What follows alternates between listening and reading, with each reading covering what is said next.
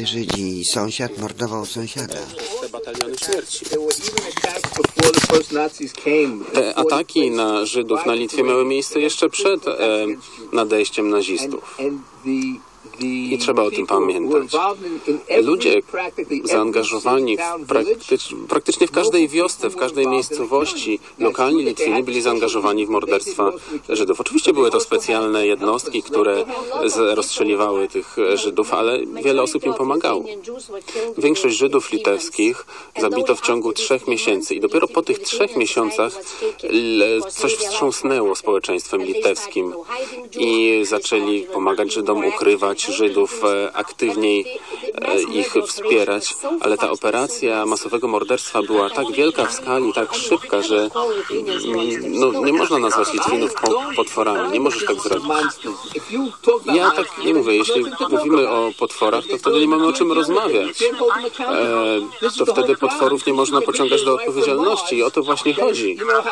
Nie, nie, kogo jeszcze moglibyśmy oskarżać? To chyba tylko Hitlera w takim układzie.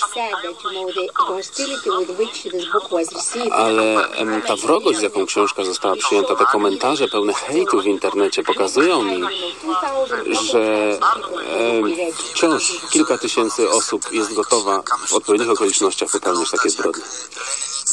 Antysemityzm współczesny i w Polsce, i na Litwie jest bardzo podobny. Bohaterzy, którzy walczyli z okupantem, czasami okazują się być mordercami Żydów. Ale Na Litwie również. jak ten proces będzie przebiegał? Państwo widzieli pomniki ludzi, którzy są traktowani na Litwie jak bohaterowie, ale Państwo wiedzą, że oni brali udział w Holokauście. Tak, oczywiście to jest jedna z kwestii, którą podnosimy w tej książce, bo jeżeli ja widzę e, pomnik e, osoby 12 batalionu, która mordowała e, Żydów na Białorusi, to ja mam ochotę wymiotować. Myślę, że to jest po prostu obrzydliwe. Jeżeli ja widzę dawnych agentów KGB, czy pana Skripa, który też mordował Żydów, to naprawdę mam, jest mi niedobrze, kiedy widzę coś takiego. W zeszłym tygodniu spotkałem się w Wilnie z em, burmistrzem tego miasta i pytałem, co wy robicie, jeśli chodzi o tę sprawę. Ale antysemityzm ma to do siebie, że widząc pomnik bohatera mojego kraju, mam olbrzymi problem z tym, żeby go oskarżyć. Więc prawdopodobnie będę oskarżał Żydów o to, że wymyślili całą sprawę. Country lepiej wygląda. No i tutaj rzeczywiście z panem profesorem wy, wypada się zgodzić. To, to jak spojrzymy na mapę różnych e, a Niemcy patrzą na tę mapę też bardzo uważnie, no to jest z ich punktu widzenia idealny wybór. Człowiek, który rzekomo reprezentuje kraje Europy Środkowo-Wschodniej, tak naprawdę w duszy jest, e, można powiedzieć, no, człowiekiem bardzo podzielającym wszelkie pomysły, wszelkie Łatwiej na Litwie, w Estonii i to samo robimy w Polsce, czy w Chorwacji. Ale Em, Rząd jest strukturą taką bardzo zamkniętą i jeżeli ja nagle e, to przychodzę i niszczę pomnik, nie, to nie jest dobrze widziane, lepiej tak nie robić. I członkowie rządu powiedzieli mi, e, ja zapytałem, ale dla, dla, dlaczego tym się nie zajmujecie? Ach, Żyd, Żyd, Żydzi e, nigdy nie będą zadowoleni. Jeśli my osuniemy jakiś pomnik, to będą chcieli więcej i więcej. Delikatna kwestia i w na Litwie, i w Polsce. To, nie, to, to tak naprawdę nie chodzi Ale to tylko o dobrze, to wró- antysemityzm, wróćmy o do to tego. zamknięcie. Co jest pierwsze? Czy antysemityzm i tłumaczenie każdego faktu tym, że Żydzi e, przeinaczają historię i rzeczywistość, czy też fakty? Czyli fakty, że w Ponarach zamordowano 70 tysięcy ludzi i trzeba się dowiedzieć kto. Ale dlaczego? To było tak dawno temu. To, Mamy tak wiele innych problemów. Jeżeli zaczniemy mówić o tym, że Litwini kolaborowali z em, nazistami, no to wtedy mm, pomagamy Rosjanom. I wie pan, jednym z największych problemów w moim kraju, na Litwie, jest to, że e, jeżeli Putin by nie istniał, to trzeba byłoby Putina wymyślić. Ponieważ jeżeli my w jakikolwiek sposób atakujemy nasz rząd, no to wtedy jest reakcja, ach, to tylko pomagacie Putinowi. Tak reaguje społeczeństwo. Cokolwiek robimy przeciwko naszemu rządowi, e, to jest według wielu osób na korzyść Putina, że ach, może my chcemy, żeby Putin przyjechał na Litwę i nam pomógł.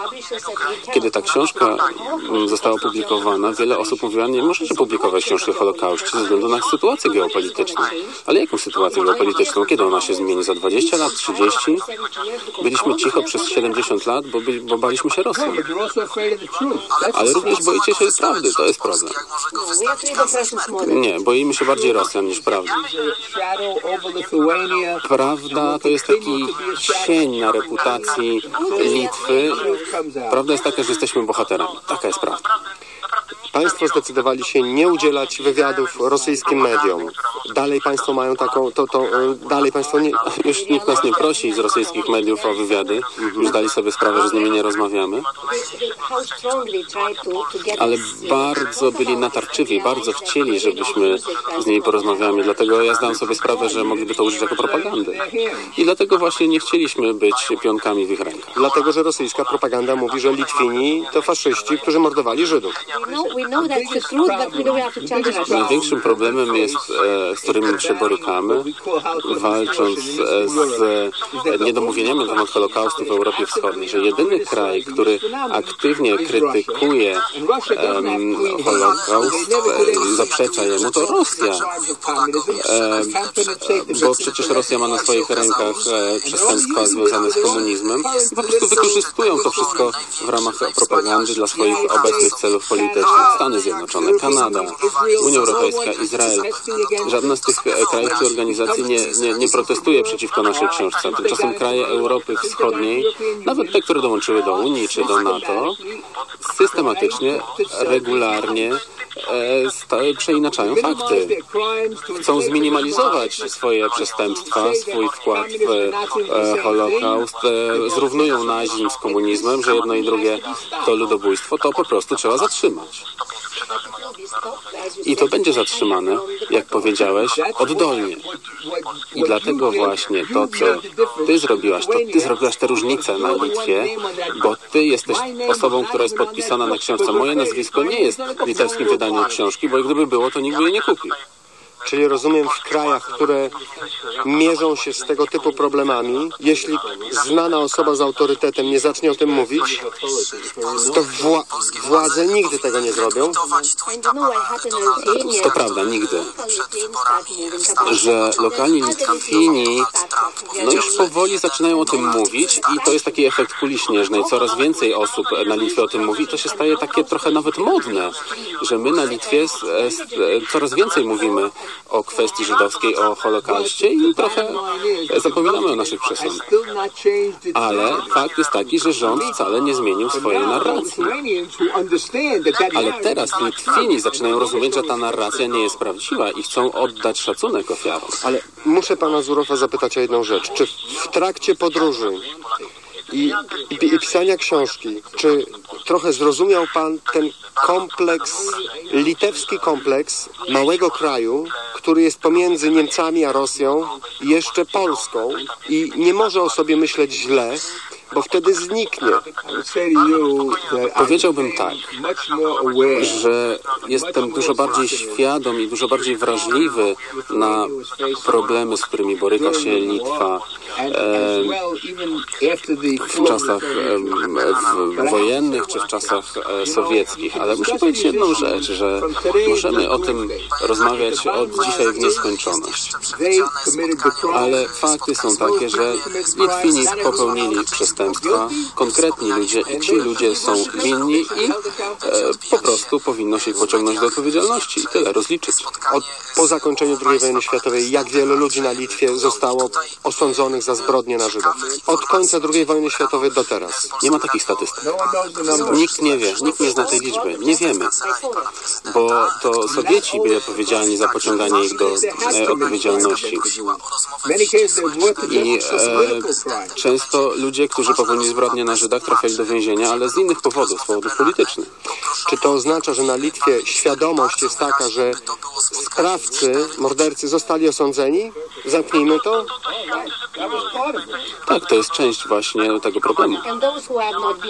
I ci, którzy nie zostali e, skazani, no uszło im to na sucho. Wiele z nich e, uciekło do, na przykład do krajów anglosaskich i już litewski wymiar sprawiedliwości nie, nie miał żadnych możliwości wobec tych I teraz najśmieszniejsze jest to, że kilka lat temu był taki specjalny prokurator od e, przestępstw totalitarnych, nazistowskich i powiedział, mieliśmy okazję ukarać te osoby, ale to jakoś się nie wydarzyło. W jaki sposób to nie miało miejsca? To, nie wiem, Marsjanie przylecieli i mm, zatrzymali ten proces. E, e, pamiętam, że szef policji w Poniewierzu, znam to z relacji e, rodzinnych, e, moja siostra, zresztą ja też, e, ta osoba, która potem była w Stanach Zjednoczonych, przysłała mi spodnie jeansowe i płyty. I teraz e, ja słyszę z niektórych osób z mojej rodziny, no tak, wy, wykorzystałaś go, bo brałaś od niego jeansy i płyty, a teraz mówisz, że to przestępstwo, to przestępca. To nie w porządku. No cóż, trzeba uczyć się nowych informacji i wyciągać wnioski. Chciałbym prowokacyjnie zadać pytanie, bo w, w Polsce pomaganie Żydom, ratowanie Żydów było bardzo trudne z powodu okupacji niemieckiej. Ale na Litwie, jeśli ktoś ratował Żydów, to miał przeciwko sobie Niemców, e, litewskie władze i własnych sąsiadów. Więc ktoś, kto na Litwie ratował Żydów, musiał być hero, heroizmem się wy, wykazać. To było bardzo heroiczne. E, największym zagrożeniem byli sąsiedzi. Bo to sąsiedzi e, powiedzieliby Niemcom o takim fakcie, inaczej Niemcy by nie wiedzieli. Spotkaliśmy pewną kobietę, która mm, powiedziała historię bardzo wzruszającą. Miała taką koleżankę Żydówkę, to była dziewczynka chyba 8-9-letnia. I ro, rodzina rozmawiała o tym, co działo się z Żydami i myśleli, może uratujemy chociaż tę dziewczynkę, tę, tę koleżankę naszej córki. I wtedy postanowili, nie, nie możemy tego zrobić, po prostu nie możemy tego zrobić. I padło pytanie, ale kogo się boicie? Niemców? Oni się nigdy nie dowiedzą. Nie, nie boimy się Niemców. Ukryjemy tę dziewczynkę przed Niemcami, ale boimy się naszych sąsiadów. Bo Litwini myśleli, że Niemcy będą tu na zawsze. Dlatego chętnie przekazywaliby takie informacje Niemcom po to, żeby mieć lepsze, lepszą pracę, lepszą sytuację majątkową. My, Litwini, chcemy przetrwać. Czasami kolaborujemy, żeby przetrwać. Nie czasami, ale zawsze. Nie czasami, ale zawsze. Kilkakrotnie w książce Państwo się powołują na polską książkę Sąsiedzi profesora Grossa, ale Państwo świetnie wiedzą, że w Polsce to dopiero rozpoczęło dyskusję i podzieliło całe społeczeństwo polskie na, po na połowę. Efraim mówił, że to samo stanie się w konsekwencji tej książki. że Właśnie to się wydarzyło, dokładnie to samo. Ja wiedziałem, że to tak będzie. Pomyślmy o tym przez chwilę. Jan Gross pisał o Jedwabnym, a potem okazało się, że Jedwabne to był jeden przypadek z wielu przypadków w okolicy Łomży. Ale po drugiej stronie granicy jest Litwa, jest cały kraj, który ma takich Jedwabnych mnóstwo. I to prawda. Ta książka rozpoczyna debatę. I dzięki pracy Ruty to właśnie się dzieje. Dlaczego ta delikatna sprawa związana z e, roszczeniami i zwrotem majątków w książce zajmuje niewiele miejsca? Przede wszystkim ja e, odmawiam podejmowania tematu zwrotu mienia. To jest bardzo trudny temat, który budzi wiele problemów i jeżeli taka restytucja nie zostanie przeprowadzona odpowiednio, to może zniszczyć wiele lat edukacji em, na temat Holokaustu i jedynie wznieci stereotypy antysemi, em, antysemitów. Ludzie mogą powiedzieć, jeżeli takie zwroty mienia nie zostaną przeprowadzone odpowiednio, no to teraz powiedzą, ach, no to teraz już rozumiem, dlaczego Żydzi tak mówią, że Holokaust był taki ważny, bo chcą po prostu otrzymać z powrotem swoje mienie. To byłaby katastrofa. Po drugie, w, na Litwie ta sprawa została rozwiązana. Rząd zgodził się na zwrot mienia, na taki pakiet restytucji dla e, osób, które przetrwały Holokaust. Oczywiście to nie jest rozwiązanie idealne, ale to jest bardzo poważny wysiłek, żeby ten problem rozwiązać. I to już nie jest problem. Jeżeli jest jakaś kwestia zwrotu mienia, e, pojawiłaby się w książce, no to wtedy by to wzburzyło całym społeczeństwem.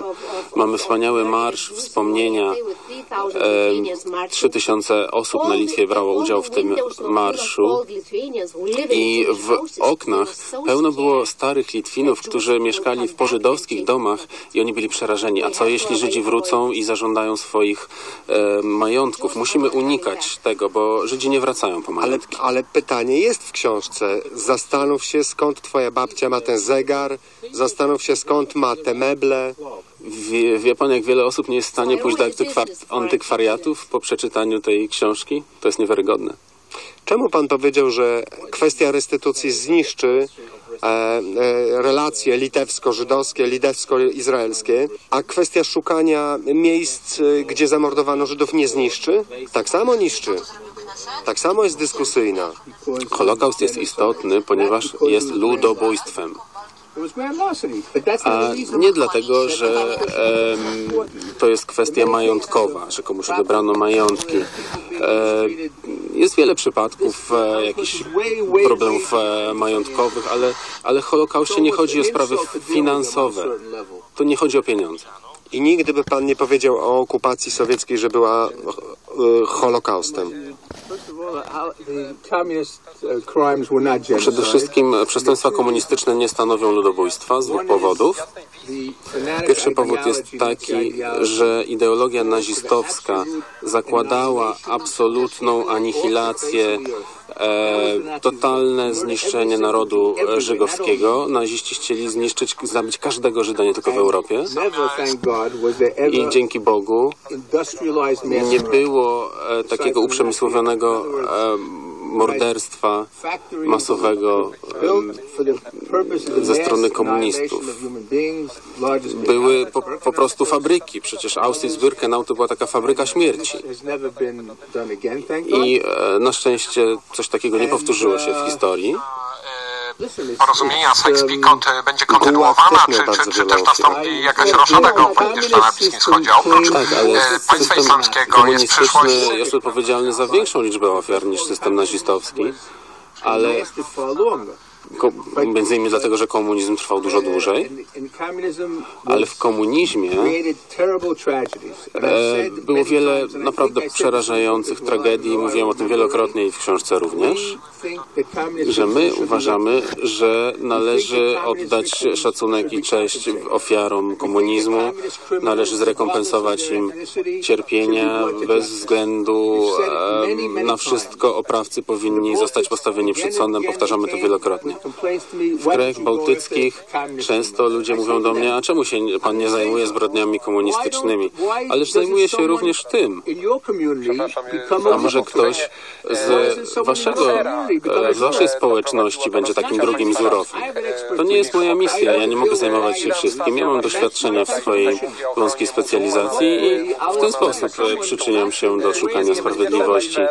I Litwini, Łotysze, Ukraińcy też mogą się w to zaangażować. Dlaczego tak wiele krajów uważa, że okupacja sowiecka była tak, tak samo okrutna jak niemiecka?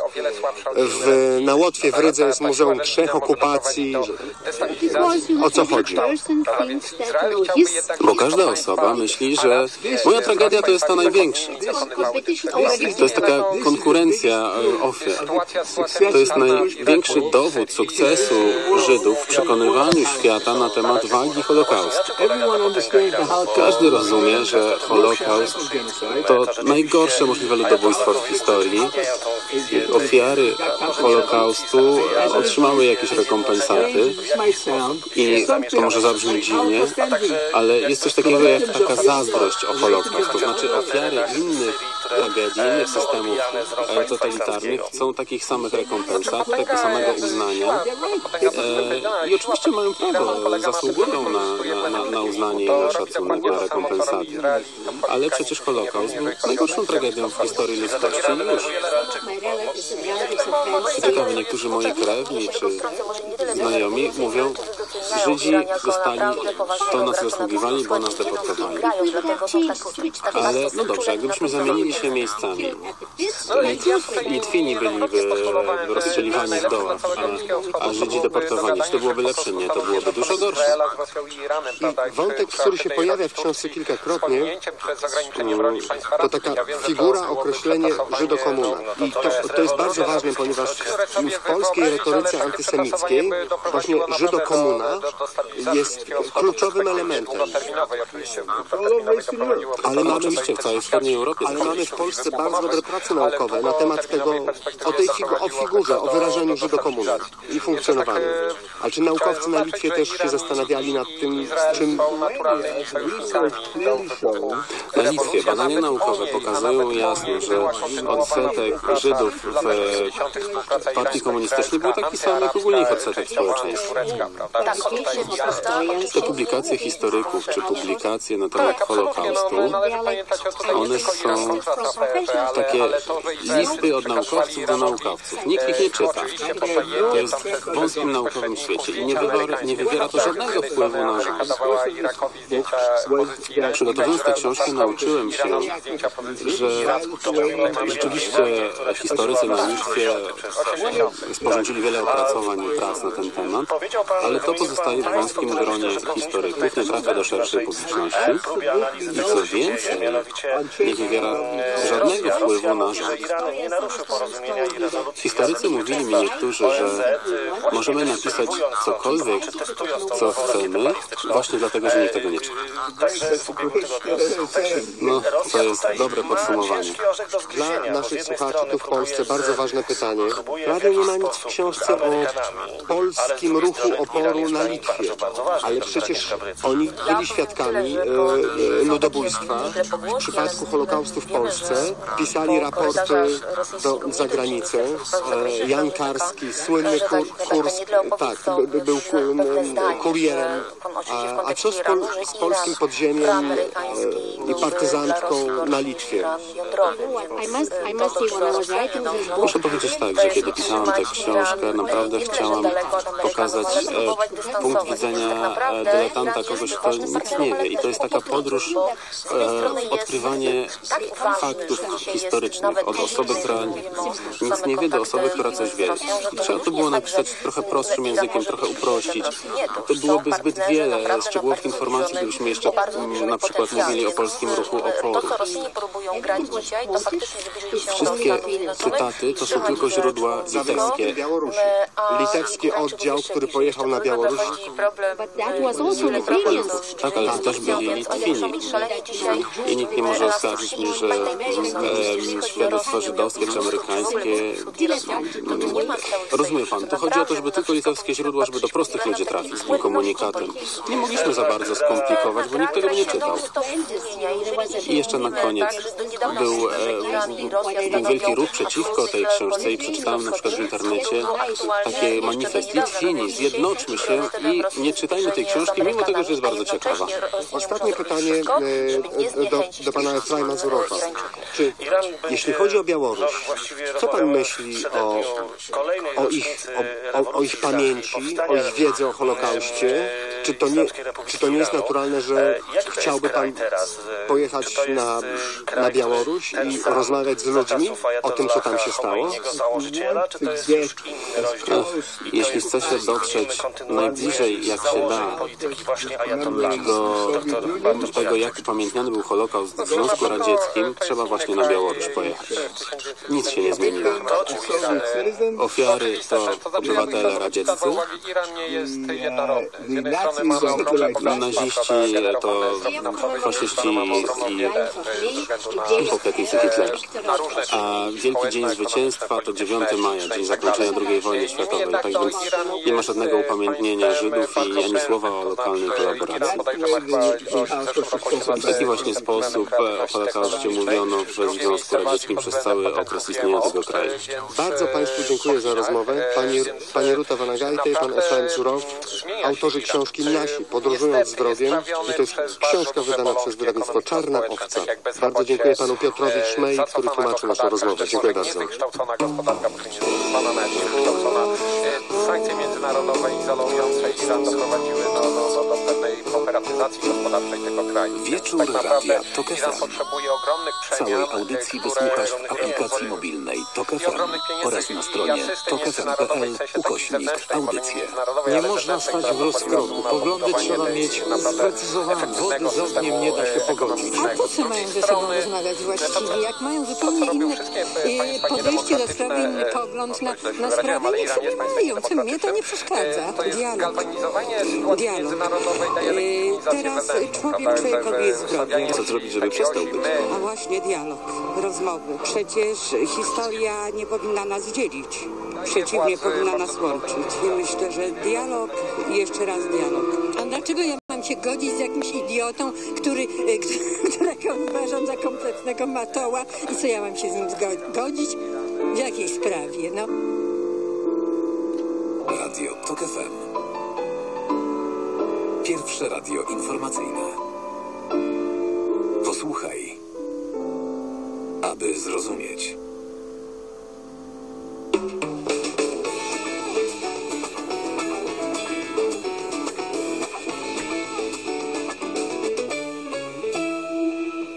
Nam się to nie podoba, żeby Wrocław był germanizowany. Mamy dosyć patriotów polskich na to, żeby nazywa się nazwiskami ulice Wrocławia. Nie potrzebujemy sięgać po nazwiska niemieckie. Historia jest taka, że Wrocław był niemiecki przez tyle lat, to ma nadal zostać niemiecki. Dla mnie też tym wszystkim problemem jest to, że we Wrocławiu w dalszym ciągu na przykład mieszkańcy nie mogą mieszkać przy ulicy Rotmistrza Pileckiego, żołnierzy wyklętych. Ale jest rondo żołnierzy wyklętych, to dlaczego nie możemy uczcić niemieckich architektów? Mówię, że nie możemy ich uczcić. Jakie inne argumenty poza narodowością świadczą przeciwko projektantom hali stulecia czy pawilionu 4 no, ja nie znajduję takich argumentów. Nie przyjmuję argumentu, że nie dajemy komuś nazwy ulicy, bo to Niemiec był. Strasznie się wstydzę za tych ludzi, strasznie się wstydzę za tą postawę.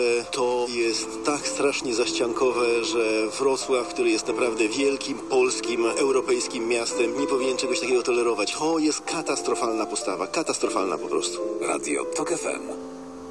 Pierwsze radio informacyjne. Posłuchaj, aby zrozumieć. Na podstawie tamtej ustawy, którą wy nazywacie niekonstytucyjną, zostali wybrani członkowie e, Trybunału. Ale ta ustawa jest niekonstytucyjna To i tak to powiedzieliście. dokonali. Nie trzeba wybitnej wiedzy prawniczej, żeby stwierdzić. Reporterzy. To dobry ksiądz? Tak. Żal, że odchodzi? Bardzo. Nie ma lepszego księdza na świecie. Reporterzy. A jakie było pytanie? Panie premierze, jak żyć bez meczu? Jakoś da radę. No właśnie, czyli automatu nie będzie. Nie ma automatu, absolutnie. Radio TOK FM. Pierwsze radio informacyjne. Posłuchaj. Reporterzy małpa tok.fm. Aby zrozumieć. A jakie było pytanie?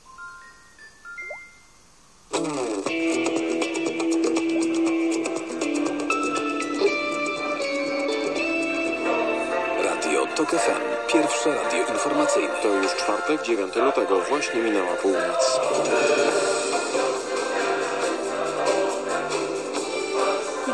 Informacje TOK FM. Wojciech Kowalik. Sąd nie zgodził się na areszt dla dwóch zatrzymanych ostatnio w sprawie reprywatyzacji urzędników warszawskiego ratusza. Górnicy nie odpuszczają w walce o 14 pensje w katowickim holdingu węglowym. Policja na Pomorzu Zachodnim uruchamia specjalny portal z mapą wypadków drogowych. Wrocławski sąd nie aresztował dwóch warszawskich urzędników zatrzymanych przez CBA w związku z aferą reprywatyzacyjną. O areszt dla Gertrudy J.F. i Mariusza P. wnioskowała prokuratura regionalna we Wrocławiu. Sędzia Marek Potaralski z Sądu Okręgowego we Wrocławiu mówi, że zdaniem sądu nie było podstaw do aresztu. Sąd nie podzielił zarzutu prokuratora, że istnieje obawa matactwa, utrudnienia postępowania, że istnieje potrzeba zabezpieczenia materiałów dowodowych w sprawie, bo w większości materiały dowodowe to są dokumenty, które już zostały zabezpieczone. Decyzja nie jest prawomocna. Prokuratura ma 7 dni na odwołanie się od tej decyzji. Arkadiusz EU, pseudonim Hoss, który usłyszał zarzuty związane z oszustwami metodą na wnuczka na łączną, łączną kwotę blisko 3 milionów złotych, stawił się wieczorem na jednym z poznańskich komisariatów w ramach dozoru policyjnego. Mężczyzna przez półtora roku ukrywał się przed wymiarem sprawiedliwości. Arkadiusz EU, zatrzymany pod koniec ubiegłego tygodnia na warszawskiej Woli, jest według śledczych pomysłodawcą jednej z najpopularniejszych metod oszustw na tzw. wnuczka i liderem jednej z największych i najprężniej działających, m.in. w Polsce i Niemczech, grup zajmujących się tym procederem. Sąd nie zdecydował się na jego aresztowanie, zastosował jedynie dozór policyjny. W siedzibie katowickiego holdingu dyżurują związkowcy, a w kopalniach odbywają się masówki. Związki zawodowe KHW domagają się natychmiastowej wypłaty czternastek w całości. W zeszłym tygodniu pracownicy otrzymali pierwszą ratę nagrody po 1000 złotych. Zgodnie z zapowiedziami ministrów energii pozostałe pieniądze mają trafić na konta pracowników do 3 marca, ale pod warunkiem, że wcześniej zostanie ze stroną społeczną wynegocjowane porozumienie w sprawie fuzji KHW i Polskiej Grupy Górniczej.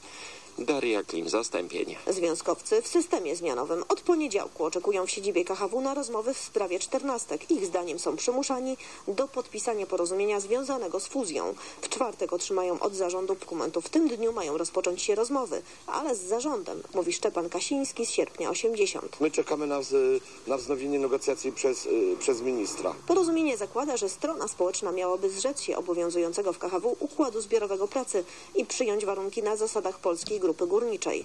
Przedstawiciele resortu chcą podpisać dokument do końca lutego. Misje nie wprowadziły do tekstu żadnych poprawek. Teraz dokument trafi do Izby Lordów, która zajmie się nim po Katowicka 20 Wielkim lutego. Zastępem. Wróci do Izby Gmin tylko wtedy, gdy. Lordowie wprowadzą do niego poprawki. Francuska policja prowadzi dochodzenie w sprawie dużej sumy pieniędzy, którą zamachowiec z Louvru przesłał do Polski. za popełnione ponad wiek 29-letni temu w egipcjanin, będąc już w Paryżu, przesłał do Polski w dwóch transzach tak 5 wcześniej tysięcy euro. Dokonał tego do pierwszej 31 wojny stycznia i była 1 kolonią lutego, na dwa dni przed zamachem, za pośrednictwem Western Union. Według francuskich źródeł pieniądze były przeznaczone dla jego rodaka mieszkającego w Polsce. z 20 Francuska policja badając tę sprawę współpracuje z policją polską, starając się ustalić tożsamość adresata. Jak na razie prowadzący dochodzenie są ostrożni w łączeniu faktu przesyłki pieniędzy z piątkowym zamachem w Luwrze, ale i ten wątek biorą pod uwagę. W piątek rano w podziemiach do Muzeum Egipskiego statystyki muzeum miejsca rzucił się z maczetą ze na czteroosobowy patrol żołnierzy. Dwóch lekko ranił, sam został postrzelony w brzuch. Wracamy do kraju. Na terenie całej Polski rozpoczęło się liczenie bezdomnych. W nocy strażnicy miejscy, policjanci oraz pracownicy socjalni sprawdzają miejsca, w których zazwyczaj przebywają takie osoby. Akcję od organizuje Ministerstwo Rodziny, Pracy i Polityki Społecznej. Bezdomni regularnie gromadzą się innymi w Kapucyńskim Ośrodku Pomocy w Warszawie. Tam mogą liczyć na ciepłe posiłki, żeby przyjazną atmosferę i wsparcie duchowe. do gmin i Edyta Foryś, rzecznik prasowy Fundacji Kapucyńskiej. 602 U nas wnioski na Miodowej po infrastruktury obiad drogowej codziennie przychodzi z między bezpieczeństwem 250 a pieszych. Wcześniej 300 udało się ludzi, a na wieczorne spotkania 9 100 do przejściach. 120 do W mieście jest ich 130. 1000. Ta liczba stale powoli rośnie. Mariusz, czym jest bezdomność? To jest ciekawe pytanie. To nie jest tylko, tak jak inni myślą, wykluczenie ze społeczeństwa. Bezdomność to jest brak przyjaciół, brak. Rodziny, Minus brak 3-4 domu, na do którego Pomorzu, można by było wrócić. Bezdomność to jest szarość 5 dnia. na i samotności, no, człowiek jest w minus zasadzie 7 zdany na na siebie, Prawie w całym kraju śnieg, a nie ma kontaktu na co dzień. Rzadko się zdarza, żeby wybory były, że tak powiem, właściwe. Radio TOK FM. Pierwsze radio informacyjne. Akcja odbywa się co dwa lata i jest podstawą do podejmowania działań ograniczających negatywne skutki bezdomności. Według wyliczeń z 2015 roku bez dachu nad głową było w kraju ponad 36 tysięcy osób. Prognoza pogody. A w nocy zachmurzenie będzie duże z większymi przejaśnieniami, miejscami słabe opady śniegu. Temperatura od minus 12 stopni na Suwalszczyźnie i w górach przez około minus 9 w centrum do minus 5 na południu. Wiatr ma być słaby i umiarkowany. Polskie Radio 24. Słowem wszystko. 6 minut po północy. Jest dziś czwartek, 9 lutego, 40 dzień roku. Słońce w znaku wodnika wzejdzie o 7.04, zajdzie o 16.37. Dzień będzie trwał 9 godzin i 33 minuty. Imieniny obchodzą Apolonia, Cyryl, Eryk i Maria. Natalia Jędrzejewska i Robert Kawka. Rozpoczynamy noc w Polskim Radiu 24. A teraz na naszej antenie podsumowanie dnia i Łukasz Sobolewski. Polskie Radio 24. Powtórka programu. Ramos i prokuratorów generalnych. Rozmawiamy o pętli zaciskającej się wokół prezydent Warszawy Hanny Gronkiewicz-Walc. Ostatnie dni przyniosły zatrzymania urzędników ratusza w związku z aferą reprywatyzacyjną.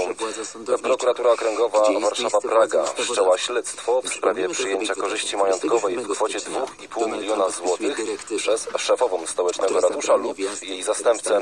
Sprawę skomentuje Oskar Hejka, warszawski radny. Później rozmowa o pierwszych skutkach społecznych. programu Rodzina 500+, o których rozmawiano w Pałacu Prezydenckim. O komentarz poproszę Ryszarda Gromackiego z telewizji Republika. Odniesiemy się też do wywiadu, jakiego prezes Prawa i Sprawiedliwości Jarosław Kaczyński udzielił mediom państwowym. Teraz już najważniejsze informacje dnia. Polskie Radio 24. Podsumowanie dnia. Jest śledztwo w sprawie przyjęcia korzyści majątkowej przez prezydent Warszawy lub jej zastępcę. Łapówka miała wynieść 2,5 miliona złotych. Generalnie chodzi o ogródki działkowe na Pratę Południe. Miasto wydało ekspertyzę, która broniła wzrostu, do którego nigdy nie powinno dojść. Sukces programu 500 Plus rozmawiano o nim w Pałacu Prezydenckim. Ogromny skutek w postaci zmniejszenia skrajnego ubóstwa wśród dzieci, ogromny skutek w postaci zmniejszenia skrajnego ubóstwa rodzin. Sejmowa Komisja w sprawie Amber Gold chce przesłuchać byłego ministra finansów. Będziemy na pewno wzywać pana ministra Rostowskiego, będziemy wzywać pana Parafianowicza, będziemy pytać o działalność tych instytucji. Konsultacje z samorządowcami w sprawie projektu ustawy warszawskiej. Żebyśmy być może wskazali jakieś zespoły problemowe, które będą również nad tą ustawą pracować. Jest nowy dowódca generalny rodzajów sił zbrojnych. Również dowód zaufania i dowód odpowiedzialności. Panie prezydencie, panie ministrze, serdecznie za to dziękuję. Polskie Radio 24. Podsumowanie dnia. Informacje. Katarzyna Oklińska, zapraszam. Prokuratura prowadzi śledztwo w sprawie przyjęcia korzyści majątkowej przez prezydent Warszawy lub jej zastępcę, poinformowała prokuratura okręgowa Warszawa-Praga. Według zawiadomienia mogło dojść do wręczenia korzyści majątkowej w wysokości 2,5 miliona złotych. Rzecznik prokuratury Łukasz Łapczyński powiedział, że biegli są na początkowym etapie badania sprawy. Śledztwo zostało wszczęte na początku stycznia, 4 stycznia dokładnie, dotyczy przyjęcia udzielenia korzyści majątkowej. Związane jest to z działaniami dotyczącymi terenu objętymi roszczeniami nowych dzielnic. Chodzi o ogródki działkowe. Nikt w tej sprawie nie został zatrzymany, nikomu nie przedstawiono dorzutu, więc to początkowy etap śledztwa.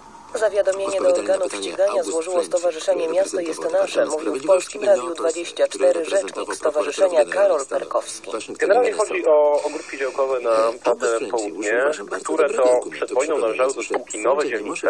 Spółka ta miała tam wybudować tak zwaną drugą paską Kętę. E, Nie udało się jej zrealizować tych planów i po wojnie pojawił się podmiot, który reaktywował e, tą przedwojenną spółkę i zgłosił się do ratusza o zwrot. E, Zwrotu dokonano, to jeszcze było za prezydenta Lecha Kaczyńskiego.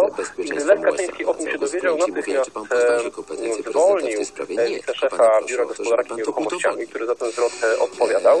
Prezydent Warszawy Hanna Gronkiewicz-Walc napisała na Twitterze, że decyzję o zwrocie reaktywowanej spółce nieruchomości, na której są ogródki działkowe, podjęto z upoważnienia ówczesnego prezydenta stolicy Lecha Kaczyńskiego, a przez ostatnie 10 lat trwało postępowanie sądowe o odzyskanie tych gruntów i jednoczesne niepłacenie odszkodowania. Doszło do tego w listopadzie minionego roku, napisała Hanna Gronkiewicz-Walc. Karol Perkowski twierdzi jednak, że za prezydentury Hanny Gronkiewicz-Walc sprawa nie została zakończona z korzyścią dla miasta. Pani prezydent e, nie zablokowała tego zwrotu do końca. W 2008 roku mieliśmy postępowanie przed Wojewódzkim Sądem Administracyjnym. Prokurator tam chciał unieważnić unieważnić tą decyzję zwrotową. A co zrobiło miasto? Miasto wydało ekspertyzę, która broniła tego zwrotu, do którego nigdy nie powinno dojść, ponieważ co się okazuje? Spółka nowe dzielnice, a właściwie roszczenie tej spółki e, do tego terenu spółdziałkowych zostało spłacone w 1975 roku przez państwo polskie. Sprawę komentowali w Polskim Radiu 24 goście Konrada Kołodziejskiego w debacie dnia. Publicysta Grzegorz Jankowski mówił, że sprawa jest wyjątkowo bulwersująca. Tak już nie było roszczeń przedwojennych, a było reaktywowano spółkę, czym Trumpa sędziowie powinni oceniać dokładnie na podstawie tego, co jest w niej napisane, czy na podstawie także intencji, jakie mogły przyświecać prezydentowi. I to dla profesora ze stanu Waszyngton przypominało, że ważne jest też to, co wcześniej mówił Donald Trump, który zapowiadał zakaz wjazdu kampanii wyborczej dla wszystkich muzułmanów. Oczywiście August Czańczyk z Departamentu Sprawiedliwości przypomniał, że tak robić nie można i trzeba oceniać tylko i wyłącznie to, co jest zapisane w tej dyrektywie zawsze się Jakby było, jest to fascynujący proces. Prawdopodobnie przełom, tylko pamiętajmy, jest to niezwykłe, że w demokratycznym państwie, jedynym supermocarstwie świata rzeczywiście są te operacyjne. San Francisco nie jeszcze są nie najwyższe, być może ta sprawa w końcu. Może zablokować decyzję właśnie przed chwilą wybranego prezydenta Stanów Zjednoczonych. Bardzo ciekawe jest sprawa się potoczy. Dzisiaj sąd apelacyjny nie podejmie jeszcze decyzji, ale zapowiada, że zrobi to w tym tygodniu. Zarzuty wobec miasta są zupełnie nietrafione. Nie mówię o tym teraz tak dużo, bo 23 miliardy złotych. Tyle trafi w tym roku do portfeli polskich rodzin w ramach świadczenia Rodzina 500. Dziś program podsumowali prezydent oraz minister rodziny, pracy i polityki społecznej.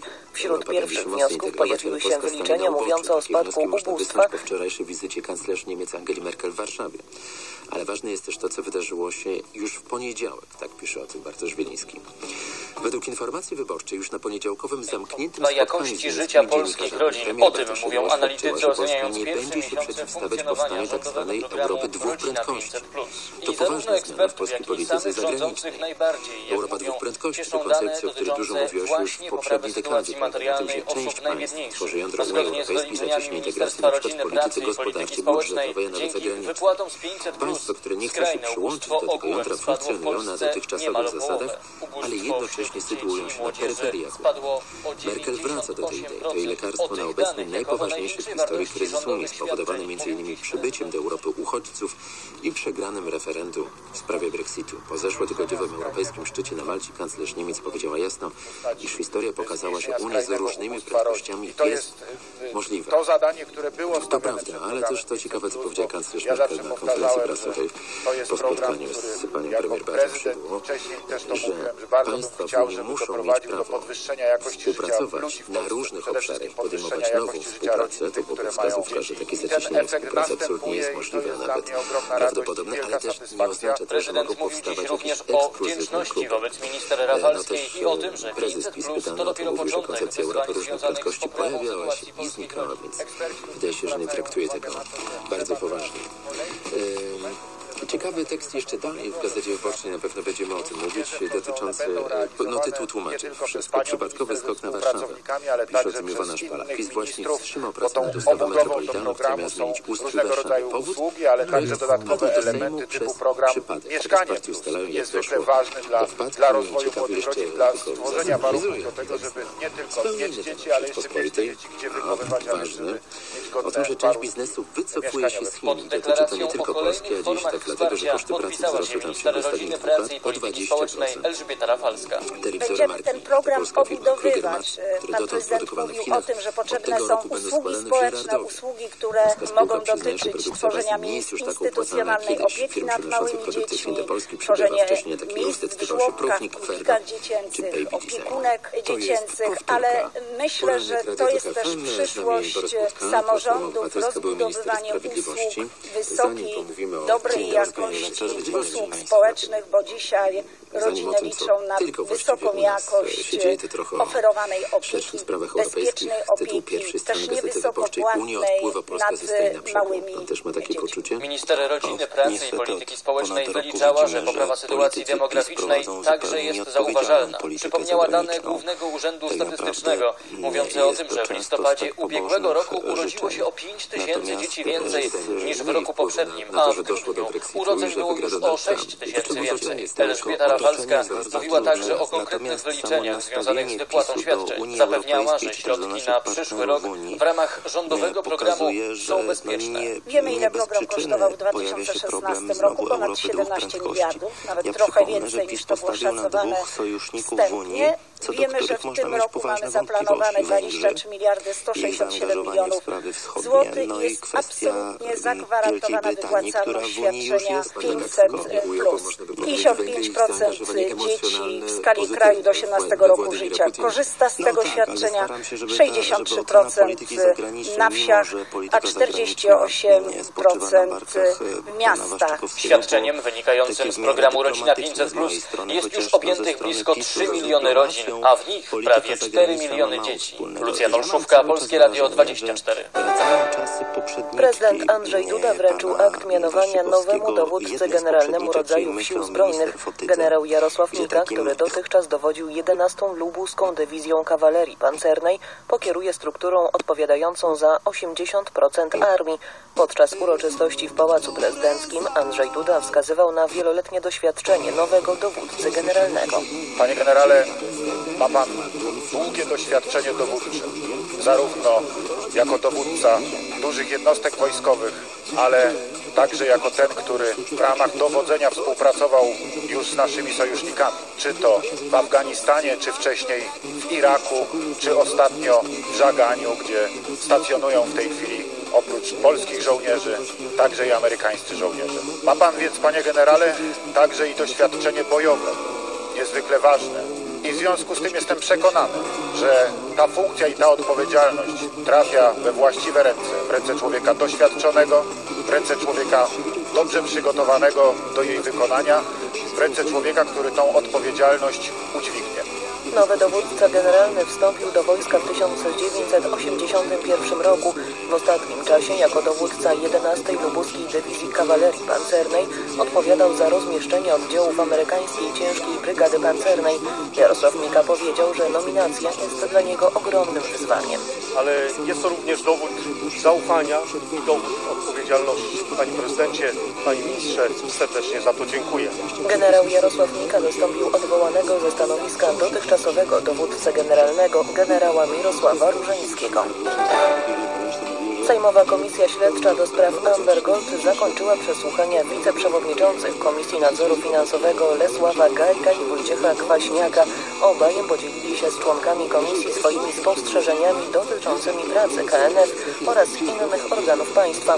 Relacja Dawida Gregorcewicza. Pierwszy z wiceprzewodniczących, profesor Lesław Gajek, wyraził opinię, że spółka Amber Gold była wyjątkowo odporna na działania Komisji Nadzoru Finansowego. Przypomniał, że w 2009 roku KNF wpisała firmę na listę ostrzeżeń, a w kolejnym roku prasa opisywała ich działania.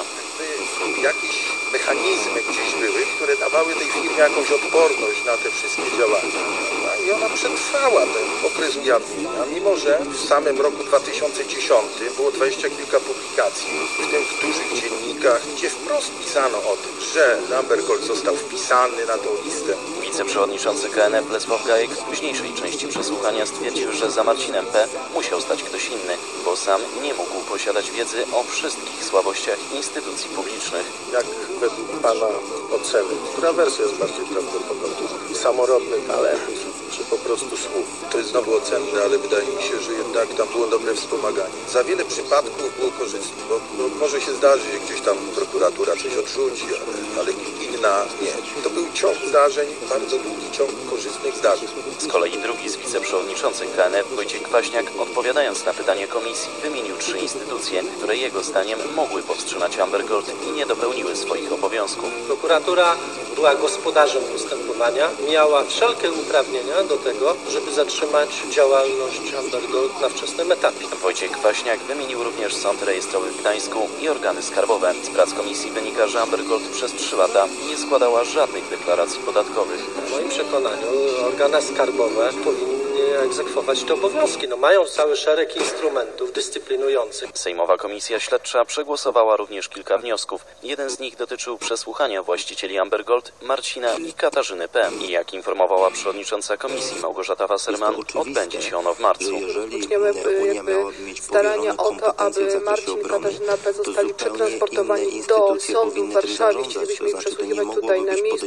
Chcielibyśmy, żeby to była koniec marca, może gdyby się udało. Nie zależy to od nas. Liczymy tutaj na dobrą współpracę z Gdańskim Sądem, do którego dyspozycji pozostają obydwoje oskarżeni. Kolejne przesłuchania przed Sejmową Komisją Śledczą do spraw Amber Gold za dwa tygodnie. Wśród przesłuchanych będzie m.in. były prezes Narodowego Banku Polskiego Marek Belka czy prokurator prowadzący sprawę spółki Barbara Kijanko.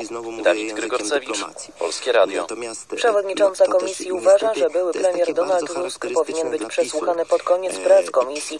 W jej ocenie może się to stać mniej więcej za rok.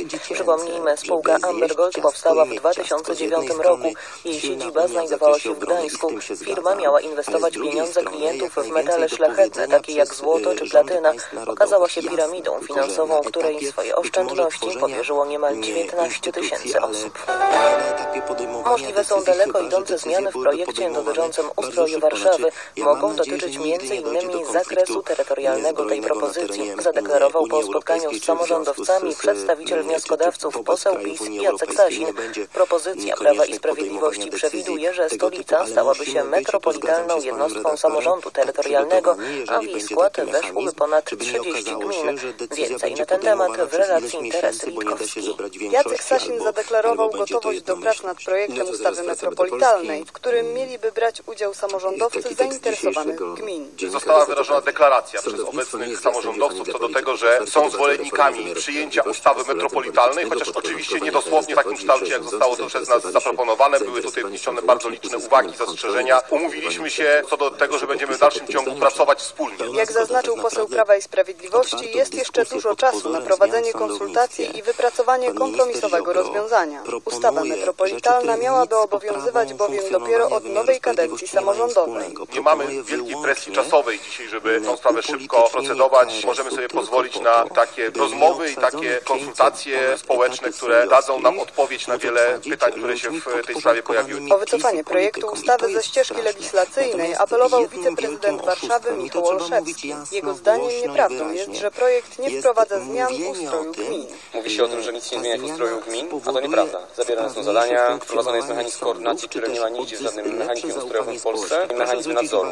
Mnóstwo pytań padało, bardzo dużo pytań na temat finansowania. W spotkaniu z samorządowcami wziął udział wojewoda mazowiecki Zdzisław Sipiera. Jak zaznaczył, projekt zaproponowany przez Prawo i Sprawiedliwość nie ingeruje w podmiotowość gmin. Poinformował także, że do tej pory na jego biurko nie wpłynęła ustawa Rady Warszawy przewidująca referendum w sprawie zmian w ustroju Warszawy i jej granic. Nie mogę komentować czegoś, czego nawet nie mam na biurku i nie ma w urzędzie. Dlatego jest jasne, jest oczywiście już pewna informacja, już o tym się nawet specjaliści wypowiadają, konstytucjaliści i tak dalej, ale to jest informacja medialna. Jako wojewoda chciałbym zawierać informacje sprawdzone, pewne, za które biorę odpowiedzialność. Kolejne spotkanie w sprawie projektu dotyczącego metropolii warszawskiej ma odbyć się za trzy tygodnie. Wtedy, zgodnie z zapowiedzią posła Sasina, ustalony zostanie harmonogram dalszych prac. Polityk zapewnił też, że do czasu zakończenia konsultacji z samorządami nie ruszą parlamentarne prace nad projektem. Teresa Litkowska, Polskie Radio 24. Jest to decyzja o odsunięciu od obowiązków służbowych Roberta Wróblewskiego, sędziego Sądu Apelacyjnego we Wrocławiu.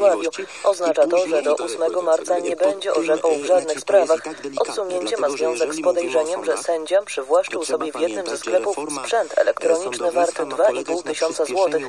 Rzeczniczka sądu, w którym pracował Robert Wróblewski, Małgorzata Lamparska, tłumaczyła, że decyzję podjęto dzisiaj rano, po tym jak zapoznano się z dowodami zebranymi przez śledczych w tej sprawie. Były to materiały wystarczające do podjęcia tego typu decyzji, bo proszę pamiętać, że to jest decyzja taka tymczasowa. O niczym nie przesądzając, przyjmuje się, że z uwagi na dobro wymiaru sprawiedliwości, służby, należy sędziego na określony czas odsunąć od pełnienia obowiązków. Sprawę sędziego Roberta Wróblewskiego przejął Wydział Spraw Wewnętrznych Prokuratury Krajowej. To właśnie ta jednostka zajmuje się ewentualnymi przestępstwami popełnionymi przez śledczych i sędziów. I to właśnie ta prokuratura będzie zwracała się do sądu dyscyplinarnego o uchylenie immunitetu sędziemu. Dopóki ma immunitet, nie może mu przedstawić żadnych zarzutów. I zmieniamy temat. Wojenne dziewczyny. Opowieść o okupacji hitlerowskiej widzianej z perspektywy trzech młodych Polek pojawi się na początku marca w telewizji polskiej. Trzy kobiety, trzy odmienne charaktery, które w obliczu wojny odnajdują wspólny język i łączą siły.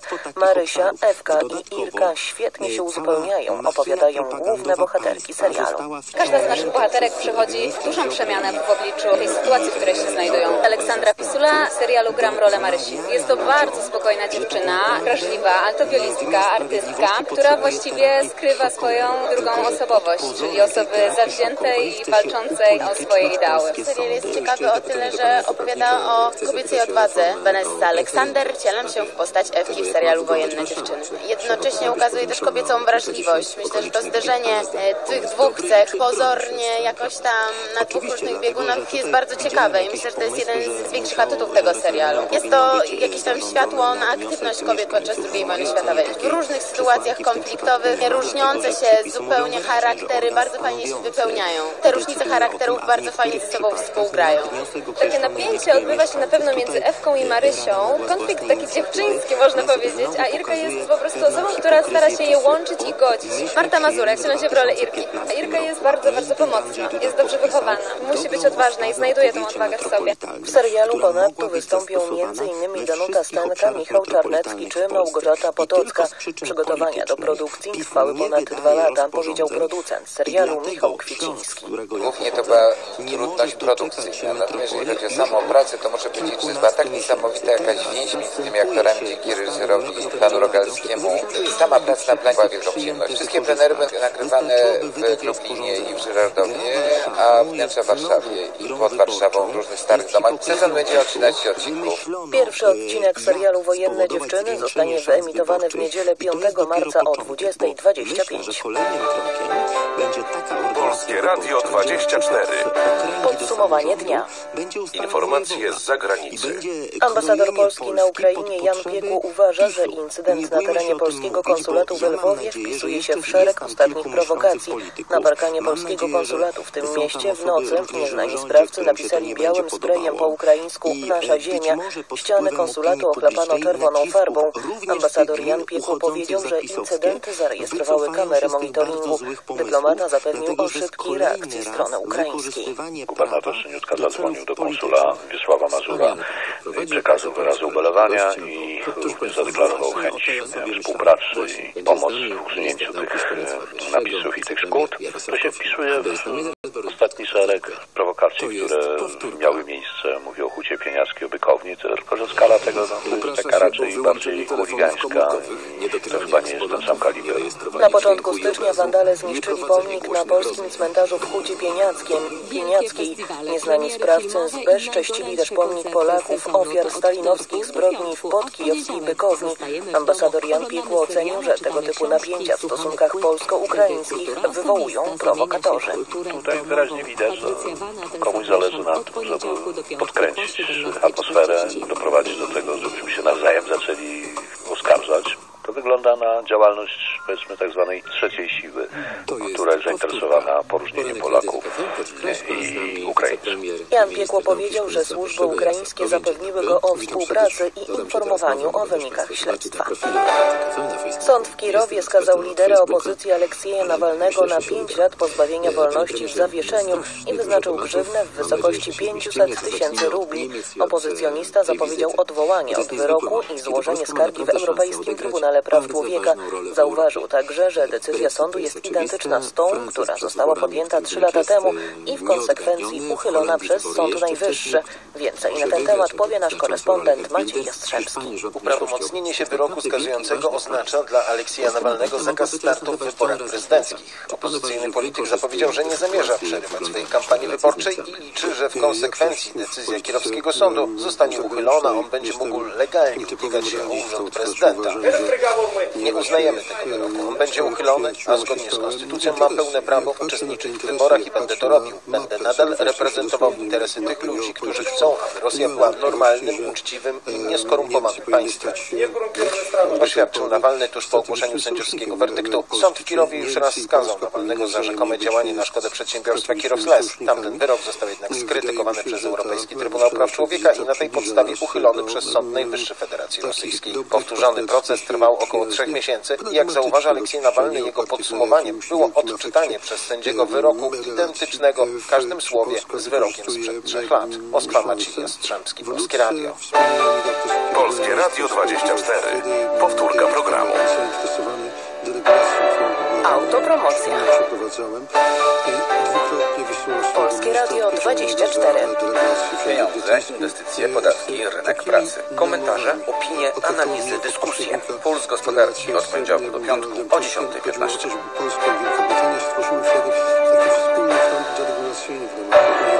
Autopromocja. Informacje dnia w skrócie. Przed mikrofonem Herbert Kawka. Siatkarki Grota Budowlanych Łódź są bliskie awansu do ćwierćfinału Pucharu Europejskiej Konfederacji Piłki Siatkowej. W pierwszym spotkaniu jednej ósmej finału Łodzianki pokonały u siebie francuskie Kam 3 do 0. Trener budowlanych Błażej Krzyształowicz mówi, że rywalki niczym nie zaskoczyły jego drużyny.